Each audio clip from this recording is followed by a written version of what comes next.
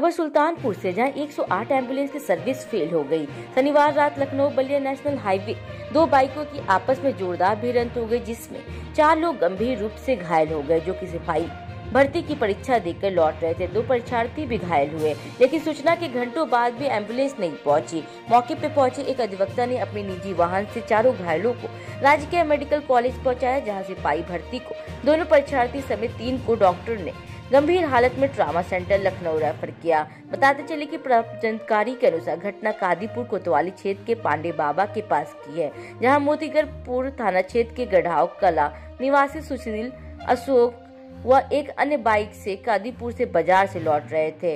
इसी समय हर्ष महिला विद्यालय, देहाली बाज़ार, बल्दी राय से सिपाही भर्ती की परीक्षा देकर बाइक से लौट रहे। करौंदी कला थाना अंतर्गत संदापुर निवासी दीपक, पुत्र मुनिराज व अजय विश्वकर्मा, पुत्र पिंटू की बाइक से टक्कर हो गई।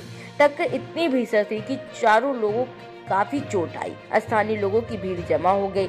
लोगों ने मौके से 108 एंबुलेंस को सूचित किया, लेकिन करीब एक घंटे बीत गए और एंबुलेंस मौके पर नहीं पहुँची। तो इसी समय मोतीगढ़ क्षेत्र के रहने वाले अधिवक्ता राज वर्मा मौके पे पहुँचे। भीड़ लगी, देख उन्होंने गाड़ी सड़क किनारे लगाया और जहाँ भीड़ लगी थी, वहाँ जाकर उन्होंने हालत को देखा।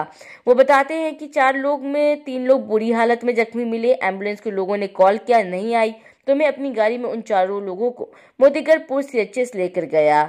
और डॉक्टर ने कहा, मेरे बस की बात नहीं, आप सुल्तानपुर लेकर जाए, यहाँ लाकर मैंने सभी को भर्ती कराया।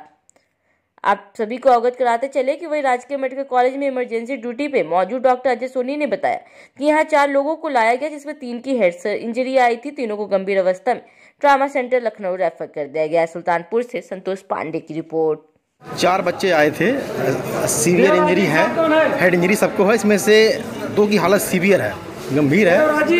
और एक थोड़ा सा कम गंभीर है दो दो की हालत बहुत सीरियस है। तीनों को रेफ़र किया गया लखनऊ के लिए। जी। कहाँ के रहने वाले हैं? अब ये तो कहाँ के रहने वाले लोग हैं? दीपक नाम है है। मोतीगढ़पुर ना?